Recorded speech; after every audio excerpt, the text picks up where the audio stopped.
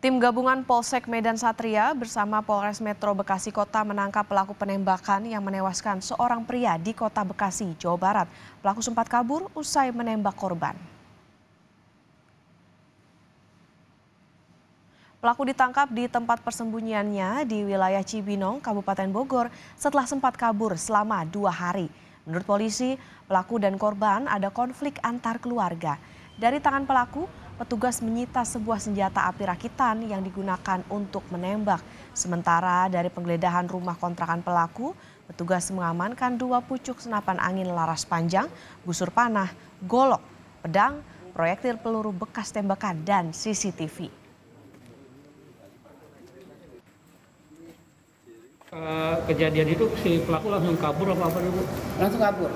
Nah, kami alhamdulillah Polres Bekasi Kota sudah uh, dalam uh, hari Selasa kita sudah mengamankan si tersangka tersebut berbentuk barang bukti. Di daerah mana? Ditangkap di mana? Cibinong, ya.